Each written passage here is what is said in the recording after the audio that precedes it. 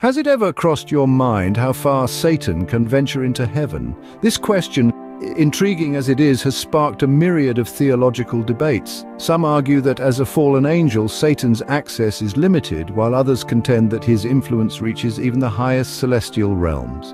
It's a topic that invites us to explore the depths of our understanding and challenges our preconceived notions.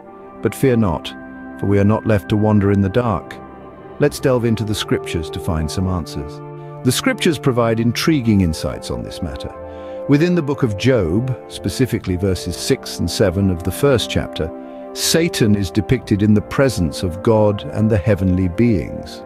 This suggests that Satan may have some level of access to heaven. However, the nature and extent of this access remain a topic of theological debate.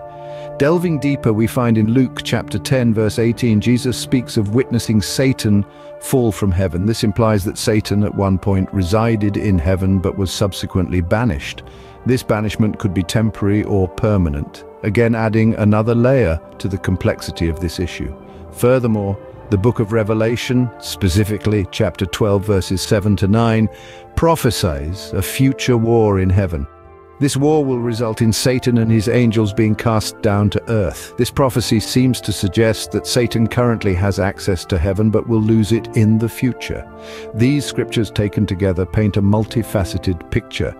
They indicate that Satan has, or at least once had, access to heaven. Yet they also forecast his eventual and certain expulsion. This information, though complex, provides a fascinating glimpse into the spiritual realm as depicted in the Bible.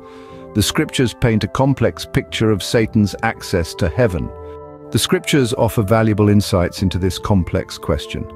In our exploration, we've unearthed several key points. First, we analyze Satan's presence in heaven as described in the book of Job, chapters 1, verses 6 to 7.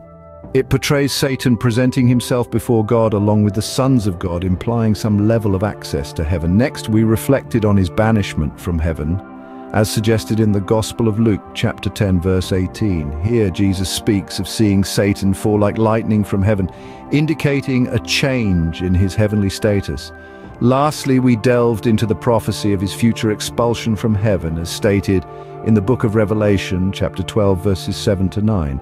This prophetic scripture foretells a time when Satan will be thrown down to earth, signifying a complete and permanent denial of access to heaven. The scriptures, therefore, suggest that Satan currently has some access to heaven, but a time will come when he will be permanently banished. This leaves us with a lot to ponder upon, doesn't it?